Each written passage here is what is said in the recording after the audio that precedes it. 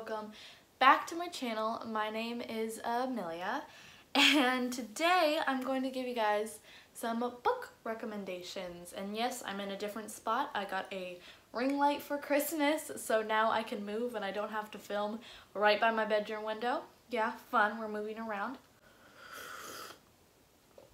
Okay, and if you're wondering, no I drink, don't drink coffee, I drink hot chocolate and I love it mm-hmm. so much. Okay, so let's get right into the video. So the first book slash book series is The Chronicles of Narnia. Highly suggest. Um, I, I'm assuming you know what this book is because it's all over the Christian world about C.S. Lewis is an amazing author, Christian author and he really incorporates a lot of Christian concepts into this series and it's really good for a lot of ages and as you get older if you reread it when you get older I promise you you'll really understand the depth of this book that this book and the series has. So good. Anyway highly suggest Chronicles of Narnia. I don't want to tell you too much about the plot line because it kind of gives a lot of spoilers away. So yeah good book though highly suggest. Even if you're not a gymnast highly suggest this. It's Grace Gold and Glory My Leap of Faith by Gabrielle Douglas Gabby Douglas, the gymnast, love her. And even if you're not a gymnast, like I'm not a gymnast now, this is my sister's book. They got it from their gymnastics days. But it's good because she shares her testimony about how she came from where she was, about how God was faithful in her life growing up. And really, it's just a good testimony book, and I highly suggest picking it up, and it makes you want to try gymnastics.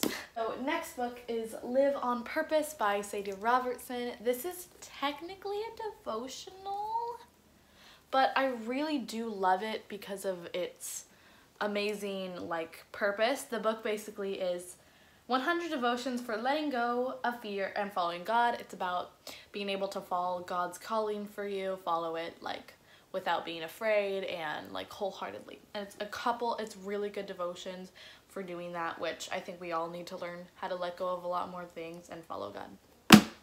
Okay, next book is High Hurdles. I guess I had to look at the title. High Hurdles by Lauraine, Lauraine Snelling. Yeah, okay. Well, it's a really good book about this girl named DJ Randall. She, she obviously is a horse girl, if you can tell by the thing and I read this book when I was going through my horse stage and I have yet to finish it but I really do want to. This is volume one. There's two volumes and they each have like four or five books in them combined and it's just a really good book and it's Christian based about her and it, every book is a different journey of hers. The first book I know is more about her trying to get a horse and starting her love and her working in barns to make money to get horses. Her mom is single so she wants to help out in the house.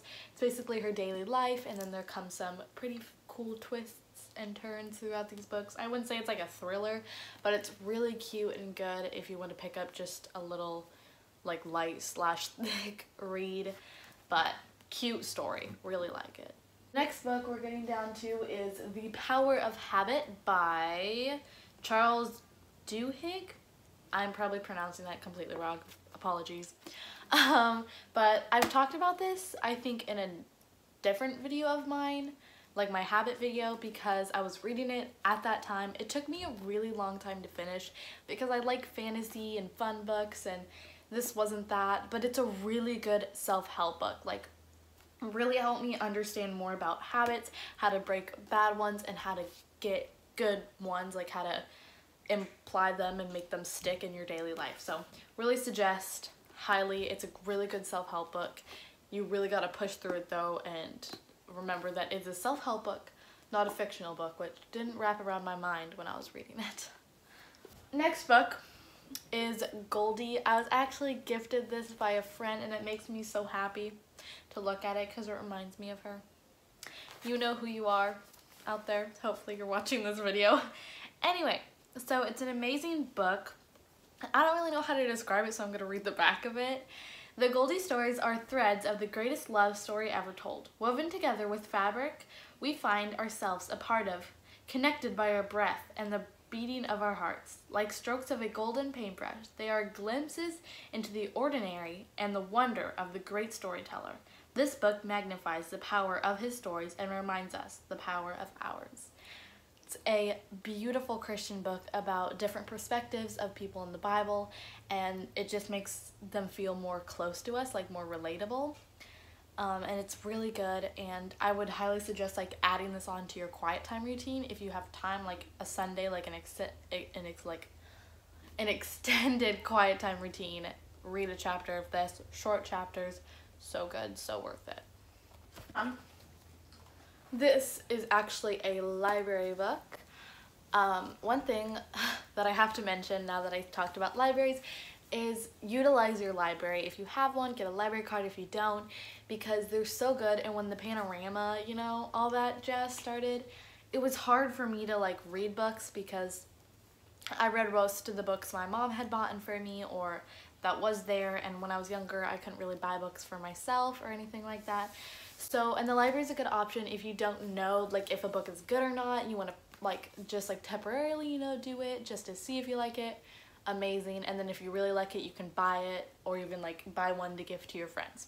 Okay anyway moving on to this book. It's called staying stylish by Cameras Cam candace cameron bure she's an actor. I don't know if you heard her from like full house and fuller house. My mama actually used to watch full house and then we started watching it and it's it's kind of fun to see that. But this book is like style give you style like advice and like also she gives you daily advice and just really good plain advice. And I love fashion, so I loved reading this book and getting some really cool inspiration. Okay, so the next book. Not everyone is gonna love this book, but I am currently reading it. If you saw in my last, like my night routine video, I think it's a video ago, I was reading Little Woman by Louisa May Alcott. Alcott?